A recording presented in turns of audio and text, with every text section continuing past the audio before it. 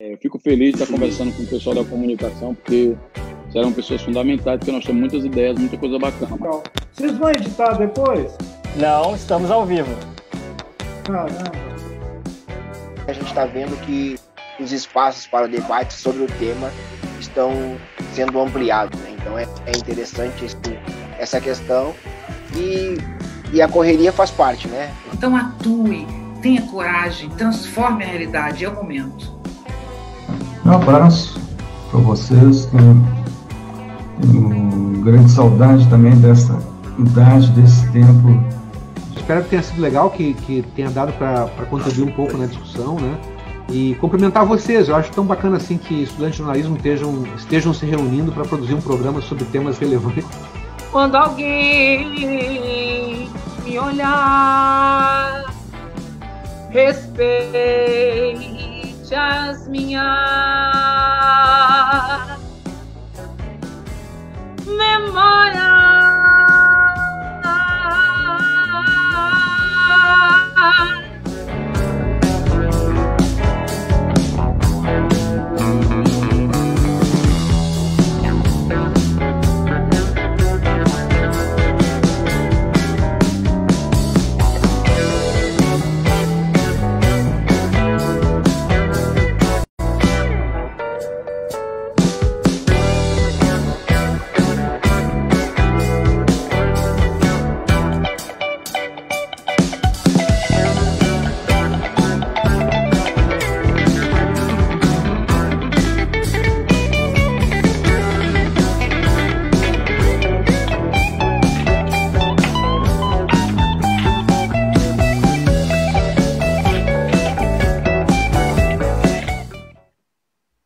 Boa noite, pessoal. Sejam todos bem-vindos.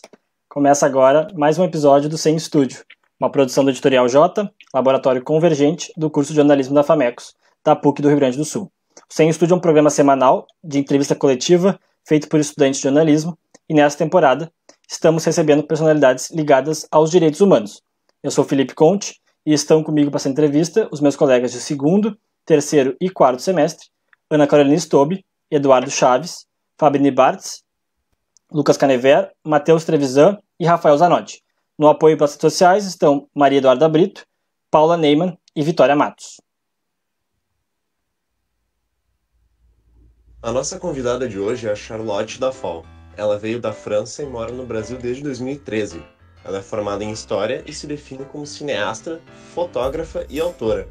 Desde que ela veio para o Brasil, começou a trabalhar em diversas mídias independentes, como o coletivo Catarse a agência de notícias das favelas e Foto Guerrilha, produzindo vídeos, fotos, textos e reportagens de campo. Integrante da Agência Livre para Informação, Cidadania e Educação, responsável pela edição, diagramação e sustento do Boca de Rua. O primeiro longa-metragem Charlotte, De Olhos Abertos, foi justamente sobre o jornal produzido por moradores de rua. Bom, boa noite, Charlotte. É um prazer te receber aqui essa noite. Muito obrigado por ter tirado uma hora do teu dia para ter esse momento aqui com a gente, bater um papo no, com a gente. Boa noite, eu agradeço o convite. Um prazer estar aqui com vocês. E, bom, já gostei do primeiro vídeo, achei bem massa. Obrigado. Bom, Charlotte, boa noite. Uh, tu, é, como o Lucas falou ali, tu é francesa e se mudou para o Brasil em 2013, mas tu conhece a iniciativa e contribui para o Boca de Rua desde 2008. Eu queria saber como é que tu descobriu aqui em Porto Alegre essa iniciativa e começou a fazer parte, né? Depois, de, uh, de, quando se mudou para cá, de fato. Um, então, que na verdade me mudei de fato em 2013, mas eu vim pela primeira vez em 2007, que foi para fazer um intercâmbio, que foi justamente um trabalho social, que não foi no Boca de Rua, foi no Morro Santana, num projeto com crianças e tal. Daí eu passei o ano aqui e, e não sei como acabei conhecendo o jornal Boca de Rua. Acho que uma, sim, foi um amigo meu que comentou uh, comigo. E daí eu cheguei meio que por aqui, cheguei chegando assim na reunião do Boca, não meio que sem avisar também. E, e já gostei do grupo, e voltei na outra semana e comecei a me envolver. Daí isso durou uh, o tempo do meu intercâmbio, até o final de 2008. Daí depois voltei para a França e, enfim, sempre que eu visitava, né, que eu, que eu vinha durante as férias, sempre que eu podia, né, eu vinha em Porto Alegre e daí participava das reuniões de novo, né, até me mudar definitivamente em 2013.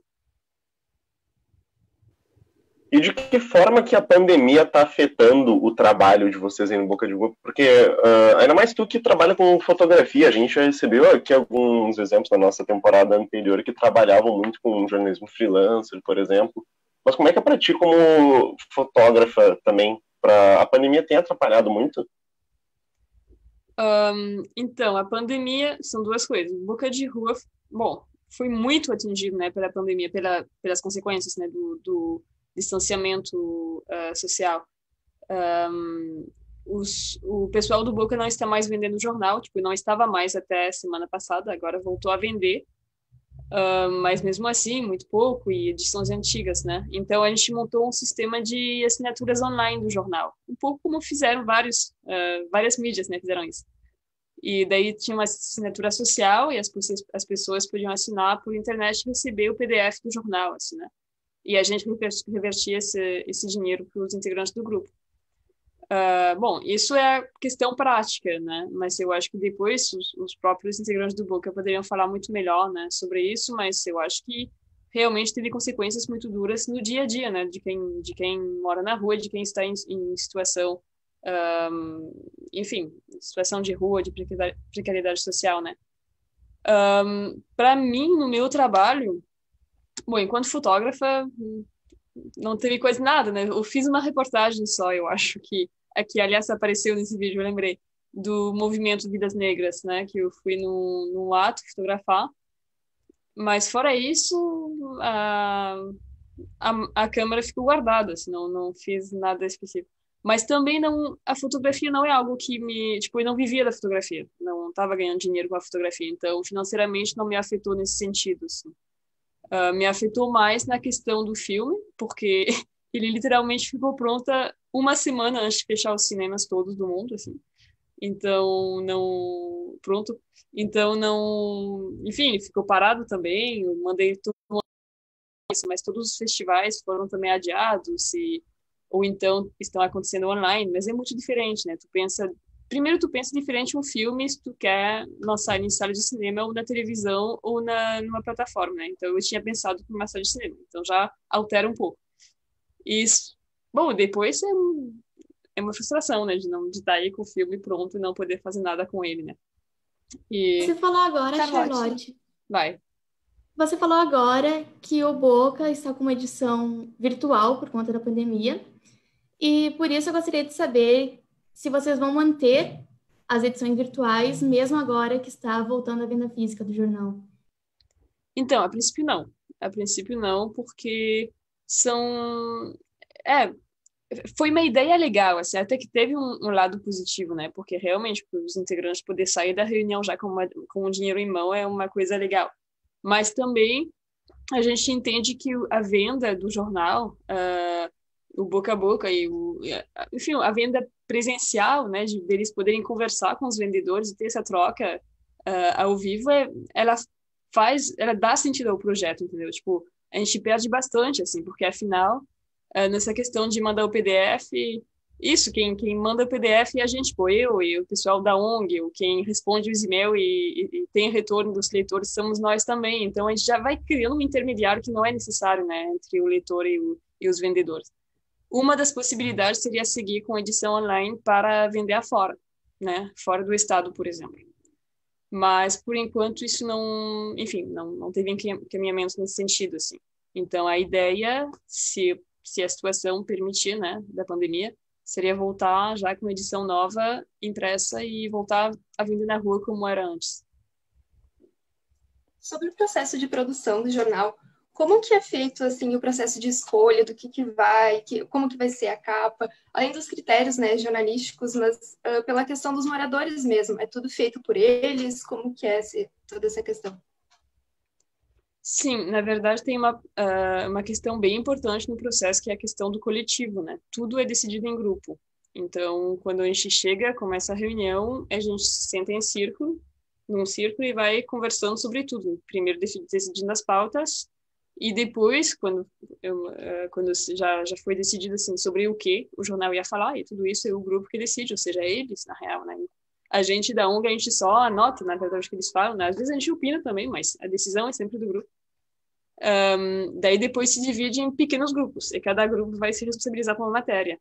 Em geral, são três, quatro grandes matérias no jornal, né? Depois o resto é notícias, coisas mais curtas. Um, a capa ela é, em geral tem uma, vem uma proposta do da Rosinha e da Cris, que são as duas pessoas da, da ONG Alice que fazem essa parte da edição e da diagramação. Então é, elas chegam na reunião com uma proposta de capa e o grupo aprova ou não, né? Mas a matéria de capa, isso é decidido no grupo. Tipo, o grupo já decide, não, essa matéria é a mais importante. Um, e daí depois a diagramação também, o pessoal da ONG que faz. E daí a partir daí, mas realmente o final, final do processo que daí é feito por Bom, que nem no jornal, na verdade, né? Um chefe de redação, o editor do jornal vai acabar fazendo esses, esses últimos ajustes, né? Das matérias, nos títulos, etc. Então tu, é isso. Tu falou e que... como é que esses... Desculpa. Pode ir, Felipe. Tá, Pode ir, Felipe. Tu, tu falou que vocês uh, fazem essa reunião de pauta em conjunto, né, e decidem as pautas e o que vai ser uh, publicado, né? Vocês têm que chegar num consenso? Acontece de, de dar alguma divergência de opiniões e daí como é que vocês fazem com isso? Votação. Acontece sim, e é votação, mas em geral, a, a Rosina que é que quem coordena as, as reuniões, ela tem esse jeito assim muito bom de é quando tem o que acontece muito é ter mais de quatro pautas né, sugeridas mas em geral ela consegue assim juntar não mas isso na real pode ir com isso isso daí no final só tem umas quatro e tá tá aprovado aprovado assim. mas às vezes uh, quando realmente tem mais se elas não não se conseguiam assim tão fácil daí a gente vota e acaba sendo as mais urgentes, né, que, que passam e as outras, ah, vamos deixar essa pauta para a próxima edição, assim. Tem várias pautas assim que foram deixadas meses, assim, até que acho que algumas nunca foram feitas depois. Mas enfim, depois de um processo de votação, bom, é, também é bastante comum em, em coletivo. E como é que é o processo para vocês chegarem nesse grande grupo? Como é que vocês fazem e como é que vocês estabelecem contato com esses moradores? Como assim, uh, como é que se fez na, no início, talvez, porque hoje em dia o projeto já tem 20 anos, né? Então o grupo já Sim, é constituído. É, na real, não é nem que a gente chega, que eles chegam na reunião, né, no espaço. Todo mundo chega junto no espaço, na verdade. Um, o início, o início do jornal não foi com um grupo de 30 pessoas, foi com um grupo de 4 ou 5, né? Daí eu já não participei, foi em 2000, 2000, eu acho, 2000. E, e daí eu acho, enfim, as gurias chegaram na praça, simplesmente conversar com eles. E a primeira edição demorou mais de seis meses para sair, né? Que foi a gestação dessa, dessa ideia de fazer um jornal, né? Isso, bom, eu posso falar um pouco porque está no filme, então eu sei mais ou menos a história, mas, mas eu não participei desse processo. E hoje em dia as reuniões são semanais, sempre no mesmo horário, no mesmo local. Só agora na pandemia que a gente teve que mudar de lugar várias vezes, né? Porque a gente tem que se adaptar. Mas, e daí o grupo chega e a gente chega. Às vezes chegam antes da gente, às vezes, enfim. A gente se encontra lá e realmente uma reunião totalmente horizontal de trabalho. Não é uma coisa de, ah, tem alguns que vão decidir, o que, né? A gente, hoje em dia, tem uma relação de amizade, na verdade, né? De colega de trabalho. Assim. Qual o principal objetivo do jornal Charlotte? Seria uh, auxiliar esses moradores de rua a terem sua própria renda? Ou também fazer com que eles tenham suas demandas escutadas pela sociedade? Olha, eu acho que, que as duas coisas, eu só não gostei da palavra auxiliar, tipo, eles têm um trabalho, assim, né? Eu acho que essa parte de ser um trabalho é muito importante, ser uma fonte de renda é. Mas eu acho que, é, as duas coisas são importantes. A questão de ser uh, um, um, uma ponte de comunicação, né, que são uma ferramenta de comunicação, é, é fundamental. Né? A ideia é isso, que são pessoas que não costumam ter voz, voz na, na mídia tradicional. Então, mas as pessoas, essas pessoas precisam se expressar. E, aliás, elas se expressam muito bem sobre um mundo que elas conhecem, que é o mundo da rua, né? Muito melhor do que qualquer especialista universitário sobre população da rua, né? Então, um, eles têm coisas para falar, coisas muito legais para falar, é importante que a sociedade precisa ouvir. Então, a gente acredita que, tanto para eles quanto para a sociedade, é legal esse, esse vínculo existir, né?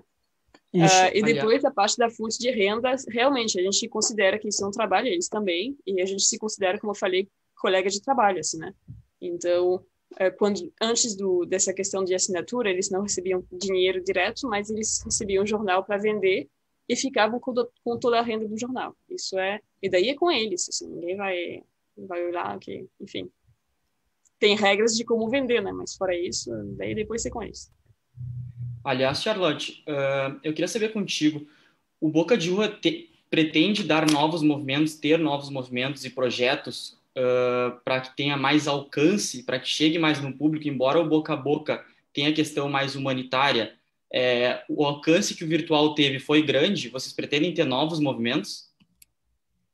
Um, bom, a Alice, a ONG tem muitos projetos, muitos não, mas tem outros projetos, uh, né? Tra não trabalha só com moradores de rua, já uh, trabalha com, trabalha com, já trabalha com presidiárias, com prostitutas, com outros grupos da sociedade, assim, atualmente com um grupo de senhoras de Bagé, aposentadas.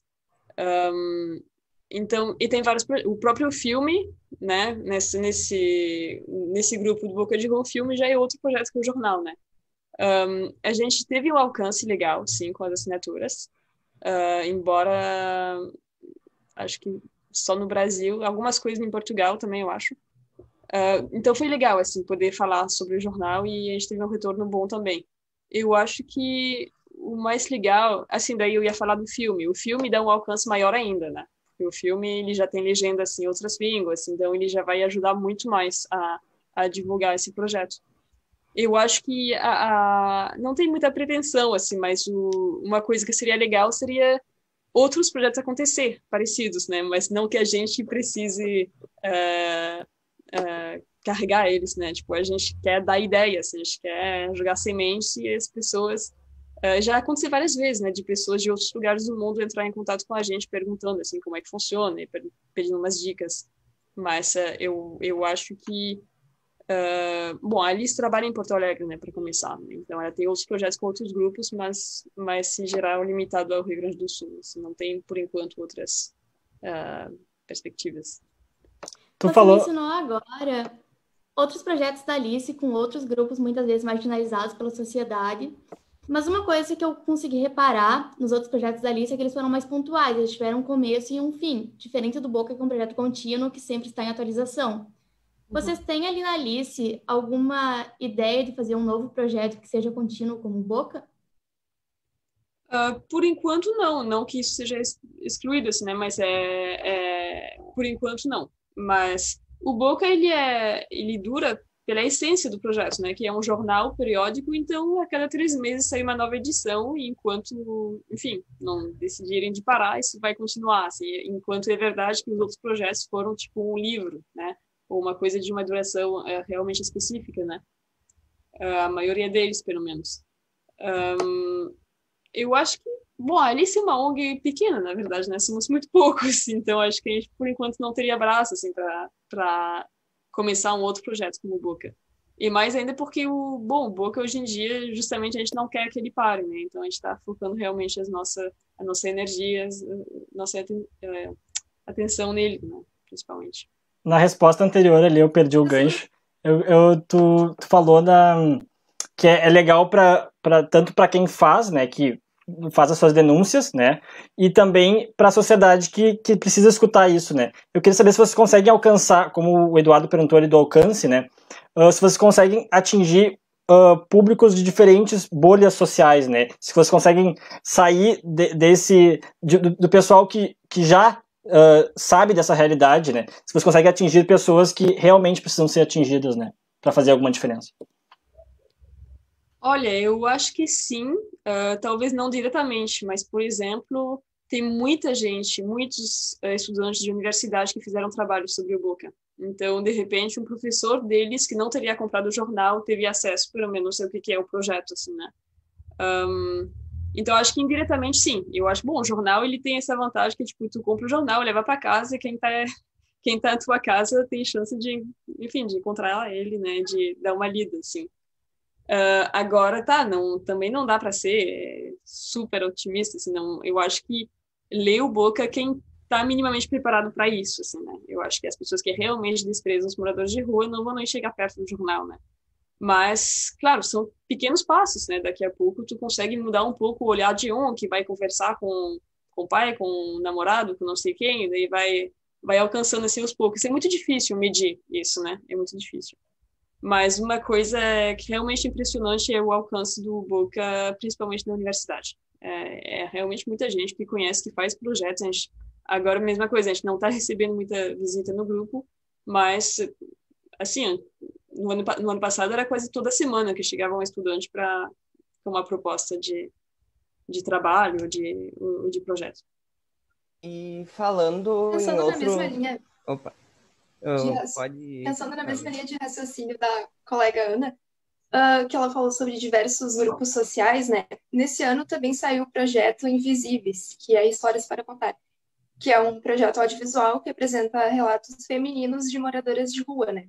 E com isso, só pensando no título e nesse, nessa pequena explicação, a gente já pensa que elas, essas mulheres elas sofrem por dois tipos de preconceito, né? Primeiro, por serem moradoras de rua e outra por ser o preconceito e o machismo, né? Que a gente já vê diari- ah, diariamente, infelizmente. Pensando nisso, tem algum projeto que você conhece que é específico para esse público? Ah, sim, estava vendo agora esse projeto Invisível. Eu acho que se o projeto que eu, que eu tô pensando, ele foi feito junto com Boca de Rua, não. Tipo, eles entraram em contato com Boca de Rua para fazer. Ahm, se eu tenho um projeto, assim, uma temática que que volta sempre essa questão das mulheres na rua. Aliás, às vezes a gente pensa, ah, os estudantes estão sem inspiração, né? Porque todos chegam com a mesma ideia, assim, que é falar das mulheres na rua, que realmente elas foram muito, muito invi eh, invisibilizadas e agora que tá, enfim, eu ia falar tá na moda, mas não é uma palavra, mas enfim, agora que tá se falando sobre isso, tem cada vez mais projetos sobre isso, né, e trabalhos. Ahn, eu não, não sei te dizer não de, de outros projetos. Já teve grupos de teatro com a população de rua, ah, que se chamava, esqueci o nome, mas teve um grupo de que fez um projeto uns anos atrás também. Tipo, do que está acontecendo atualmente, não sei, na verdade. Um, população de rua. Ah, se eu, se eu lembrar de uma coisa, eu te falo. Nós recebemos uma pergunta do estudante de Direito Philip Maillard, responsável pelo projeto Rango na Embalagem, que distribui uh, refeições aos moradores de rua de Porto Alegre. Vamos rodar aqui. Savabian. Antes da pergunta propriamente dita, eu gostaria de endereçar dois apontamentos. O primeiro seria agradecendo à pessoa do Eduardo Chaves, antigo amigo e colega, a oportunidade e o convite de estar aqui conversando com vocês e fazendo essa pergunta. O segundo seria te parabenizar, Charlotte, pela produção do documentário acerca do jornal Boca de Rua. Nos últimos sete meses, eu desenvolvi um projeto social chamado Rango na Embalagem, que tem exatamente o mesmo público-alvo: pessoas em situação de vulnerabilidade social e pessoas em situação de rua. Nesse sentido, uma das primeiras coisas que eu notei é que a camada mais alta da sociedade está envolta numa bolha e que ela configura os verdadeiros cegos, que não são as pessoas que têm deficiência visual, são as pessoas que optam por não enxergar. Afinal, convenhamos, é muito mais prático e cômodo fingir que aquelas pessoas não estão naquela situação, que elas são invisíveis, do que enfrentar o problema e fazer alguma coisa a respeito. Eu e o Eduardo, enquanto colegas no ensino fundamental e médio, tivemos um professor de espanhol chamado Ivan em comum. Ele sempre falava uma frase: mirar mais achar do que se ver. Aproveitando o título do teu documentário, eu te pergunto: como nós podemos abrir os olhos da sociedade para que ela veja esses problemas que acontecem? Às vezes na mesma cidade, no mesmo bairro, na mesma rua que a maioria das pessoas mora. E a partir daí, que atitudes nós podemos tomar para mitigar essas mazelas sociais tão presentes no nosso dia a dia? Muito obrigado. Ó, um, eu gostei da frase mirar, mas já que ver. Um, eu acho que tudo é tudo na comunicação, sim. Eu acho que essa, essa coisa da comunicação é fundamental. Eu acho que por isso que o, o Boca de Rua parte daí, né? Uh, eu vou repetir o que eu falei, assim, eu acho que tem certas pessoas na sociedade que não, a gente não vai abrir os olhos delas, porque vai ser muito difícil, a gente não vai nem alcançar essas pessoas. E realmente, uma coisa muito... Quando a gente começa a, olhar isso, né, o quanto a sociedade é dividida, o quanto uma pessoa que mora em tal lugar parece que não está é, convivendo ou, morando na mesma cidade que uma outra que está a duas quadras da casa dela, né? Ou às vezes na calçada na frente da casa dela. Então, realmente, eu acho que tem pessoas que simplesmente não enxergam, não querem enxergar. Uh, eu acho, tive o sentimento que com, com todo o, o distanciamento social, físico que teve na pandemia, isso piorou, assim, pelo menos foi mais flagrante ainda, né, de o quanto as pessoas não se enxergavam e não compartilhavam a mesma realidade, apesar de estar na mesma cidade, né. Mas, enfim, eu acho que o rumo, a solução é sempre essa, é comunicar, é falar e não ter medo de falar e, e não ter medo de ser chato quando a gente fala, de insistir, insistir, falar as mesmas coisas sempre.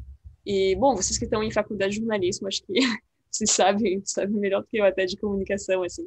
E sobre, uh, eu acho que é legal também aí a importância da venda do, do jornal uh, de mãos em mãos e por eles mesmo, porque acho que quem pode falar, quem deve falar são eles, são tipo quem pode falar sobre a situação uh, de morar na rua são os próprios moradores de rua, né, pessoas que já tiveram essa situação.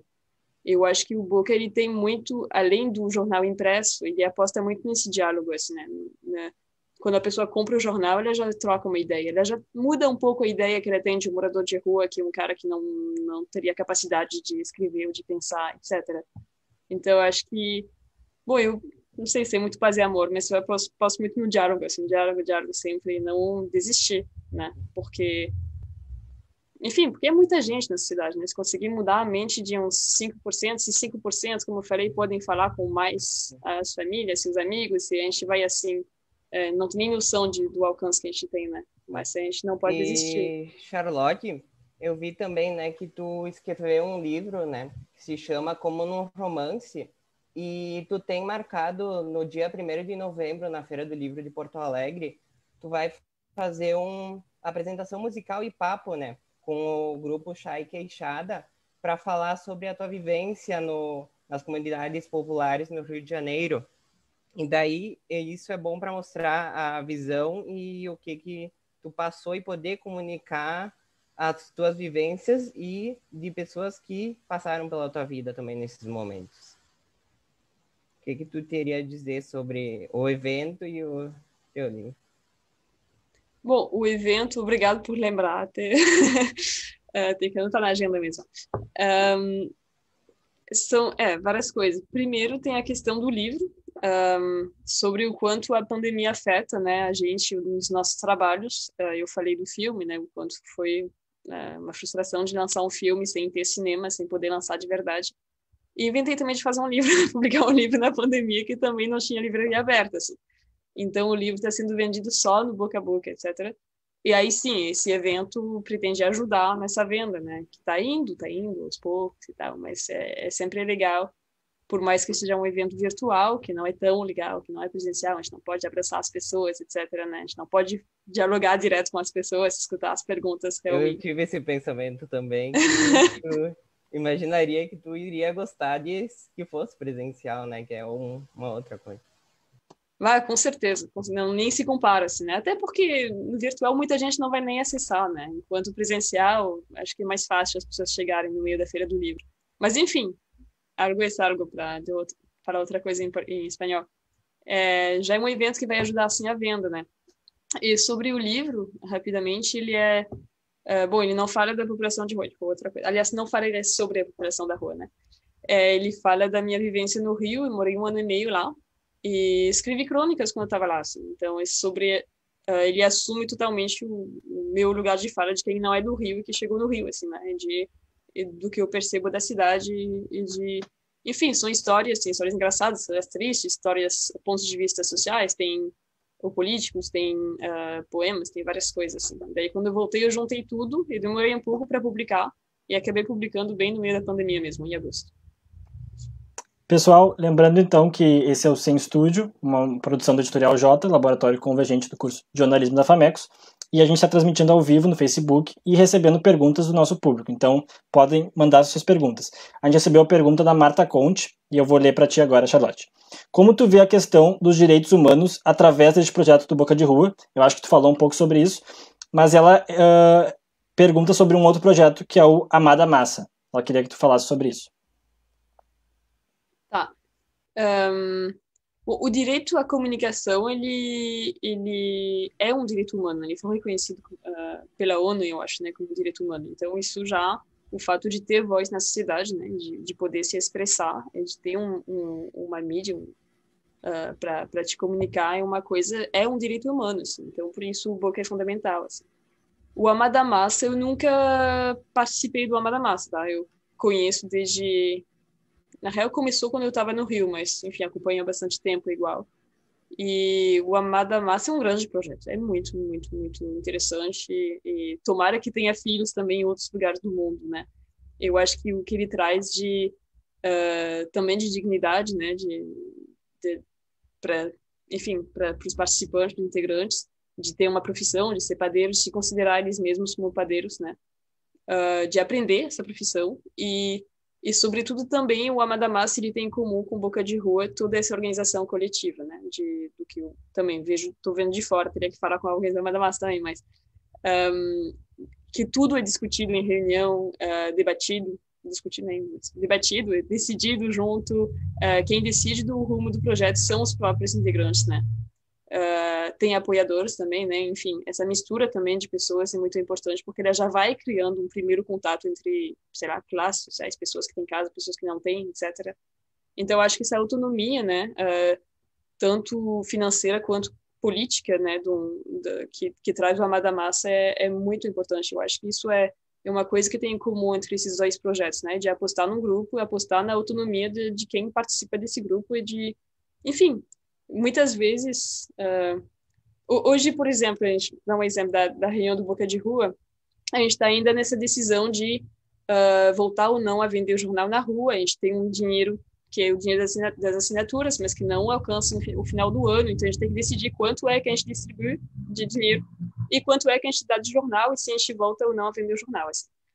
E, e isso, enfim, foi debatido no grupo, a gente chegou lá na reunião, falou a gente da ONG, né, a gente chegou sem saber realmente, sem a mínima ideia do que seria decidido. Assim. E a gente já apresentou a situação e um fez uma sugestão, o grupo teve uma contraproposta, o grupo votou, pá, e foi decidido, assim. E foi muito, foi até muito simples, foi pouco debate, assim, de não teve briga, assim, porque às vezes tem. Mas, e foi, a gente saiu de lá com uma proposta que eu jamais teria imaginado, assim, por exemplo, né? Então, acho que essa autonomia que tem o grupo nas, de propor e decidir é uma coisa fundamental, que é também é um direito de, de dignidade humana, né? Uma coisa que também que faz parte de um assunto de direitos humanos, né? Inclusive, Charlotte, o Daniel, o Daniel Silva, que é um dos apoiadores do Amada Massa, ele mandou uma pergunta para você que o Rafael vai passar para ti. Tá.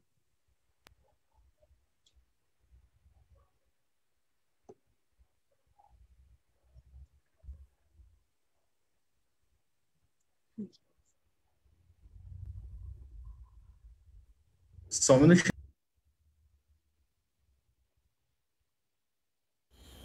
Olá, boa tarde a todos. Boa tarde, Chá. É, o que eu queria perguntar é que tu pedir, na verdade, que tu falasse um pouco sobre a tua percepção, as percep novas percepções que tu teve em relação a, a, a dois conceitos.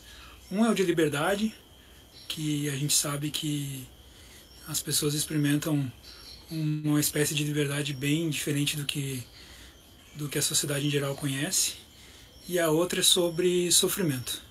Graças, abraço. Uau! Precisaria de um tempo para pensar sobre isso, na verdade. Um, sobre liberdade e sofrimento. Tá, um abraço, Dani. Obrigado pela pergunta, para começar. É, o Dani é uma das pessoas que fundou a Amada Massa, não é só um apoiador, assim. Ele é, tá desde o início. Um... É ele que pediu para ser chamado de apoiador, porque Sim, ele disse imaginei. que é da equipe. Um, imaginei. Uh, sobre... Bom, vamos... Sobre liberdade. Um, claro que tem uma, sempre uma primeira ideia, né, que é um pouco uh, de romantizar, romantizar a vida na rua, né, das pessoas que de fora, né, de achar, ah, não, tá, né, as pessoas que estão na rua estão livres, né, real, levantam quando quiserem, fazem o que eles quiserem, tá, etc. De não ter uh, compromisso de, de trabalho, de horário, de cuidar de uma casa, tudo isso, né. Um, eu acho que não é tão simples assim, na verdade. Eu acho que a questão da liberdade, ela ah, ela abrange muito, muita, muita coisa, né? Mas afinal, quem mora na rua, do que eu vejo, primeiro eles trabalham muito. Eles têm compromisso, sim. É, muitas vezes eles têm que acordar muito cedo, sim, sabe? Um, e tem toda a questão da, da necessidade material e da segurança, né, que faz que não, eles não estão totalmente livres de dormir onde eles quiserem, quando eles quiserem, nem um pouco. E nem dormir, assim, dormir é uma coisa que, aliás, é muito complicado, né, para quem está na rua, assim. Um, não, acho que não estou conseguindo responder a pergunta muito bem, mas eu acho um assunto muito interessante, assim, eu acho que a gente repensa bastante essa questão um, essa questão da liberdade do, do, olhar que a gente tem sobre essa situação, né? Daqui a pouco, entre quatro paredes, tu pode se sentir mais livre, né? Enquanto, um, às vezes, quem está na rua... Enfim, acho que para eles, eles não conseguiriam estar entre quatro paredes também, depende de quem, né? Mas eu acho que um, que um assunto... E tem outra questão também que não... Um, que fica difícil de, de debater, porque precisaria de muito, muito tempo mas eu lembro de uma entrevista que eu fiz no filme, uh, que justamente eu comecei a cutucar um pouco sobre essa questão da liberdade, assim, de perguntar, tá, e aí, vocês se acham livres? Vocês acham que, que quem tá, uh, quem tem muito dinheiro, tem um carro, tem um apartamento, é mais livre do que vocês, etc. Era duas pessoas entrevistadas. E sempre que eu perguntava sobre liberdade, elas respondiam sobre droga. Então, meio que criando essa ponte de que, afinal, uh, o, o consumo da droga não estou nem falando delas mesmas, né? Mas o consumidor pode limitar também a liberdade da pessoa porque tu fica numa dependência em relação a isso. Então, então elas me disseram exatamente isso, ah, tu tá, tu tá perdendo de ser mandado, mas na verdade tu, tu obedece a teu vício, né? E eu acho interessante isso porque uma coisa que justamente do meu, do meu ponto de vista não é ligado à população de rua. Eu acho que que gente viciada em alguma droga tem todas as classes da cidade, eu diria até praticamente todo mundo, assim. Então, droga no sentido muito amplo também, né? Então, eu acho que. Um, enfim, não, isso foi uma coisa que, me, que eu lembrei agora, assim. E a questão do sofrimento. Um, é, eu acho que uma postura que eu tento, que eu aprendi bastante no jornal também, uh, que, por exemplo, quem pode falar sobre a vida, a vida na rua são eles, nós somos a gente. Eu acho que o sofrimento é uma coisa que a gente não tem noção, assim. Eu sinto que não vou ter noção nunca, assim, do que do que é, por exemplo, não poder dormir, sabe, à noite. Uh, a gente não e que uma coisa geral na vida que eu penso assim, que, eu não vou ter a capacidade de entender realmente, compreender o sofrimento do outro, seja quem for, né? O máximo que eu posso fazer é escutar e respeitar e deixar, enfim, essa pessoa descrever mas eu não vou começar a comparar, falar, não, mas espera aí, eu estou sofrendo mais do que tu, fulano mais do que o outro, etc e que, aliás, uh, o meu próprio sofrimento, uh, eu acho que nunca vai chegar ao que pode ser o sofrimento dessas pessoas, sabe? Enfim, não sei, mas uh, eu acho que a gente começa a entender o quanto é, o quanto a gente é privilegiado na real, de, de, ter uma casa, de ter uma estrutura, um mínimo de estrutura familiar, de Uh, que isso vai muito além do dinheiro que tem no bolso nesse momento, sabe? Eu acho que é uma questão de, de estrutura, assim, né? De ter tido acesso a certas um, a certas coisas ao longo da tua infância, da tua vida, né?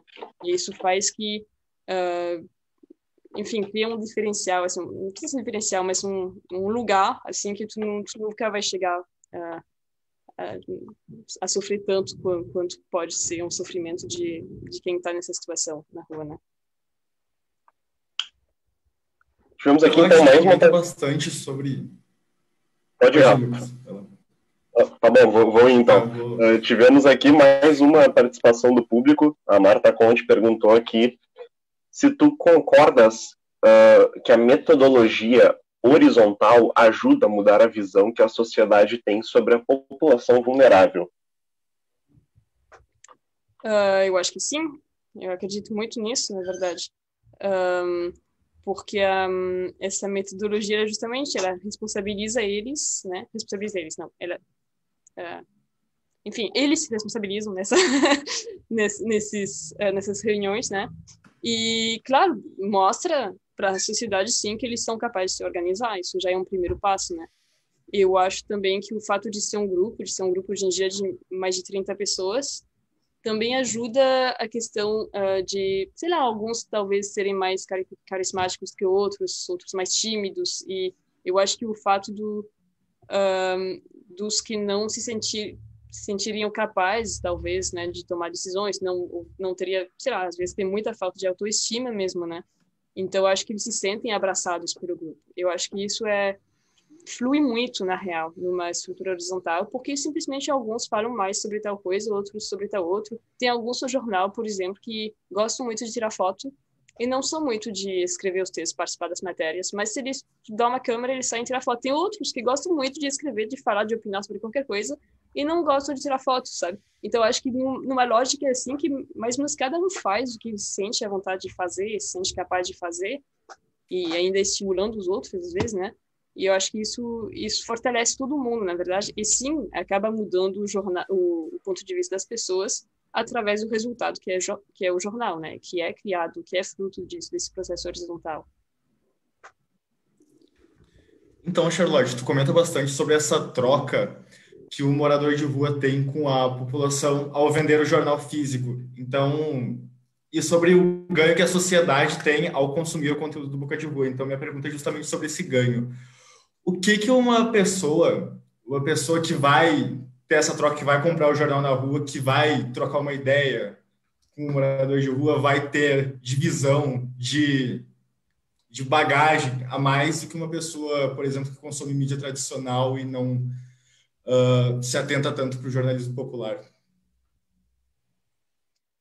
Ah, eu acho que uma das piores coisas que, que tem, eu acho, né, na, na vida é justamente essa visão limitada do mundo, assim. Eu acho que ela não serve ninguém, sabe? Eu acho que tu não tá te tornando uma pessoa mais culta, mais uh, realizada na vida, mais feliz, uh, simplesmente fechando tu, teu olhar, né? Eu acho que quanto mais tu tem conexão e diálogo e trocas com pessoas que vêm de um universo totalmente diferente de ti, mais tu cresce, na verdade, mais tu, enfim, tu, tu cresce e tua visão do mundo muda e e tu torna alguém uma pessoa mais interessante também, tu acaba mudando toda a tua, tua percepção do mundo, acho que uma maneira de ver o mundo, né, além de ver uma, uma simples situação da, da população de rua.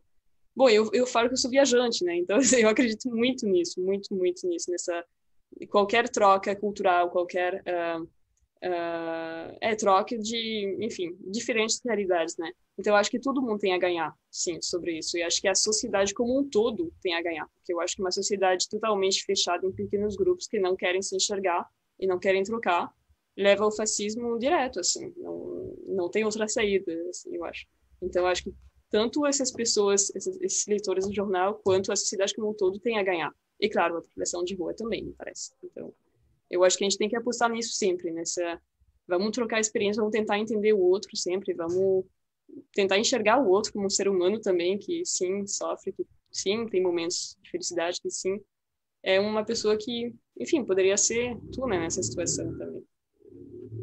Antes a gente estava falando sobre sofrimento, acabei perdendo o gancho, mas uma questão ligada também à liberdade, também ao sofrimento, é o acesso a determinados serviços providos pelo governo, né? E muitos moradores de rua não têm sequer documento de identidade. Por isso, eu gostaria de saber se ele, os moradores de rua relatam empecilhos, dificuldades no acesso a providenciar esses documentos ou até mesmo no serviço básico de saúde, por exemplo. Existe vários serviços uh, sociais que hoje em dia muitas vezes são parceirizados, terceirizados, né, com ONGs que ajudam eles nessas nesses trâmites assim. Mas uma coisa que se escuta muito, e que são entre os relatos que mais me chocam sempre, é quanto eles perdem, né, os documentos deles. Tipo, não é só fazer um documento. Documento eles têm, na real, eles poderiam ter, né? Só que eles perdem porque às vezes eles estão, tipo, com um acampamento, nem sei um acampamento, mas estão dormindo na praça, eles saindo meia hora para pegar um, uma comida não sei onde e voltam e não tem mais nada, porque o DMLU tirou, assim, né? Então, quem tira os documentos deles, os pertences deles, é a própria prefeitura, na verdade. São os próprios, é o próprio Estado que teria que justamente auxiliar eles a ter esses documentos, né? Então, esse é um relato que a gente escuta muito, assim, escuta muito sobre, enfim, como eles, eles perdem os, os pertences e, inclusive, os documentos, mas não por causa de roubo entre eles, não por causa, enfim, por causa que a polícia pegou, o, os, os serviços da prefeitura pegaram, assim, né? uh, por um, em algum momento de descuido, assim, porque simplesmente eles não têm onde guardar, né? A não ser ter sempre isso com eles, mas nem sempre rola de ter com eles. Né? Então isso é, é muito chocante, assim, é muito chocante o quanto o Estado não só não ajuda como não atrapalha, como atrapalha, atrapalha muito. Assim, né? seguindo nessa mesma linha de liberdade e sofrimento que a Ana comentou, é, o IBGE fez um estudo entre 2015 e 2017 que, que apontou que o Brasil teve 17 mil casos de violência contra moradores de rua. Como tu já mesmo disseste, as melhores pessoas para, para falarem sobre sofrimento são eles mesmos. Mas eu queria saber se os moradores que estão uh, em contato com boca de rua, se eles já relataram que ao deitar a cabeça no travesseiro, ou melhor, no chão, eles têm medo de não acordar mais? E qual é a relação deles com a vida? Eles valorizam a vida? Bah, isso é realmente uma pergunta que não poderia que eu não poderia responder assim, uh, sobre essa questão de ah, eu acho que é outro são outros valores, né? Eu acho que aí sim, eu acho que vale cada um aí de nós descer agora hoje e conversar com moradores de rua para tentar entender. Mas bom, também tem uma questão de que os moradores de rua são muitas pessoas, né? Então cada um talvez tenha também o seu, a sua resposta a isso, né? Mas, sim, de depoimento de, de, de ter medo de morrer dormindo, de ser morto, né? Assassinado enquanto dorme, já ouvi, já ouvi vários, por exemplo.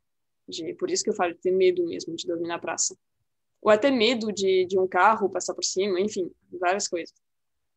E, e sobre a questão da vida, eu acho que isso, tudo que posso te falar é que são tu tá lidando com lidando é com outro sistema de valor assim tu, tu tem que é, é, entender que o que o teu que o nosso né de da nossa classe social não não vale mais do que o deles né na real. É, é só são outras maneiras de enxergar a vida. Eu sim imagino que vivendo na rua com a esperança de vida que tem com todas essas doenças que ele que essa população pega e muitas vezes sobrevive muitas vezes não eu acho imagino que a relação com a com a própria vida e a morte seja muito diferente na cabeça deles né. Mas realmente recomendo conversar mais direto assim, cada um de nós com a população de rua. Como o Eduardo mencionou o dado do IBGE, uh, a gente sabe que aqui no Brasil há poucos dados estatísticos sobre, e o próprio IBGE já apontou que ele não desenvolveu estratégias eficientes para esse público, né? Então eu gostaria de saber de ti se tu vê se alguma forma específica assim que a gente pode de fazer essa é, para tirar esses dados de pelo menos quanto eles são, né? Porque uma dessas questões é justamente porque eles não estão em um único lugar, a gente não sabe exatamente por onde eles estão, quais são as cidades. Então, eu gostaria de saber qual é a tua opinião sobre isso. Um, bom, eu acho, eu não sou especialista na questão da população de rua também, né? Um, eu acho que tem, tem o Movimento Nacional da População de Rua, que até já participou de, dessas pesquisas e, e eu acho que saberia falar melhor também. Eu acho que um, um, dos conceitos que a gente tem que ter em mente né, é que estar em situação de rua nem necessariamente é dormir na rua, literalmente, né? É, até porque não é uma situação fixa também, tipo, é dormir na rua. Muitas, muitos deles dormem em albergue, em hotel, sei, na casa de um parente, não sei onde, tipo, só que daqui a dois dias, ou dois meses, ou um ano, eles vão voltar para a rua, né, para usar é, a expressão que eles usam. Então, é por isso também que isso complica muito essa estatística, porque como é que tu vai contabilizar isso, né? Uma pessoa que saiu da rua, entre aspas, porque está alugando uma peça na pensão, mas que daqui a pouco, mês que vem, já não vai ter mais esse dinheiro, né? É porque tem, tem auxílios do governo. O governo é especialista para fazer isso. Ele dá auxílio para uma pessoa durante quatro meses ou seis meses, depois para o programa e daí muda o governo e já acaba, assim. Então, afinal, não tá, tipo, essa, essa pessoa não está saindo da situação social que ela, que ela tava, né? Um, então, eu acho que, é, eu acho que a gente tem que ter sempre uh, em mente, tipo, começar por aí, como é que a gente define a população de rua, quem é a população de rua, né? Para depois poder aplicar esses critérios, né? Mas, enfim, eu sei que teve várias, uh, vários censos, várias iniciativas assim, feitas uh, pelo IBGE, pelo, pela universidade também. E eu acho que o melhor jeito é sempre trabalhar direto com eles. Assim, uh, perguntar, no caso, no movimento da população de rua, né, que, que, que é uma frente, assim, até mesmo para perguntar como fazer, né? Como, e trabalhar sempre junto né, com a população de rua. E não chegar de cima e falar, tá, a gente vai contar vocês, porque daí não vai dar muito certo bem oportuno, pegando esse gancho, inclusive mais uma pergunta do público aqui, do Felipe Maillard. Uh, Maillard. Uh, Charlotte, tu acredita que um projeto como Boca de Rua teria algum tipo de vantagem em procurar parceria com o governo para desenvolver alguma política pública para essa população?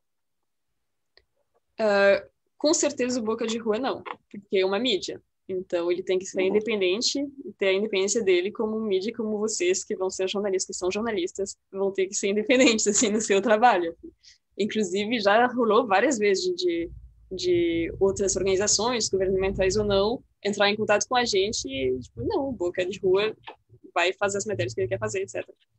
Um, e o Boca de Rua é um, tipo, outra coisa também que é uma reunião semanal e que já é muita coisa para ser conversado, discutido e, e, e para simplesmente produzir o conteúdo do jornal, né? Um, agora, como eu falei, tem vários grupos dentro da população de rua que servem para isso. O primeiro deles é o Movimento Nacional da População de Rua, que está aí para ter uh, justamente esse, esse diálogo ou esse embate, depende, com, com o Estado, né?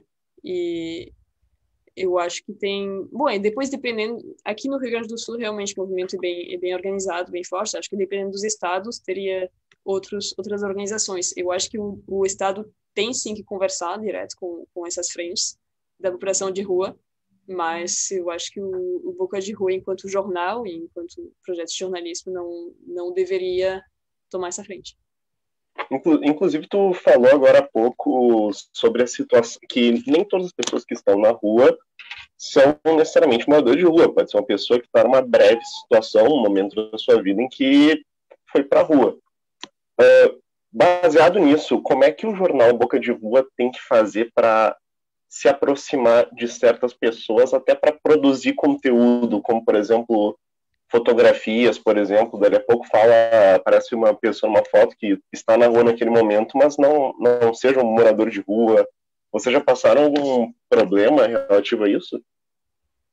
Um, uh, bom, primeiro uma coisa assim, assim como uma pessoa pode estar na rua num período curto e não estar em situação de rua, não se considerar em situação de rua, o contrário vale também, isso também que eu estava falando, que uma pessoa pode sair da rua, mas não, na real, não deixar de estar em situação de rua, porque ela segue sem trabalho, sem estrutura, sem, enfim, com a, a população de rua o tempo todo, né? Então, um, a questão das... Bom, do, do jornal Boca de Rua, por exemplo, no grupo, o grupo, ele não pergunta. Quem chegar, chegou, e não, não tem investigação para saber se a pessoa está na rua ou não, onde ela está dormindo, se ela tem dinheiro ou não tem dinheiro, etc se alguém chegar no grupo se definindo como integrante do jornal e, e, e, morador de rua, ele já é, é, já, já pode entrar, assim, né? Não tem, não tem investigação desse tipo, assim, realmente. A gente não tem como comprovar nem como saber uh, qual é exatamente a situação de cada um dos integrantes, a não ser o que eles querem falar, eles falam por eles mesmos. E sobre as matérias, as matérias não falam só da, da rua, né? Elas dão um ponto de vista da rua sobre a sociedade em geral, assim, por mais que tenha temáticas da rua, né, em geral, é, privilegiadas, uh, a maté uh, o jornal, por isso não tem problema em, por exemplo, fotografar alguém que não seria da população de rua se for o, o foco da matéria, né? E depois são as regras eu acho, universais do jornalismo, assim, não vai tirar foto de alguém que não queira ser fotografado, não sei que realmente queira uh, ter uma bronca com a pessoa, assim, mas a princípio, bom, claro, não nada de criança, adolescente e tal, mas no mais a gente tenta fazer as matérias de, de uma maneira de maneira honesta e, e né, investigando minimamente sobre o assunto que a gente está uh, uh, sobre o qual a gente está falando, né? E claro, tem que ter esse, esse esse cuidado maior com uma questão de direito de imagem, né?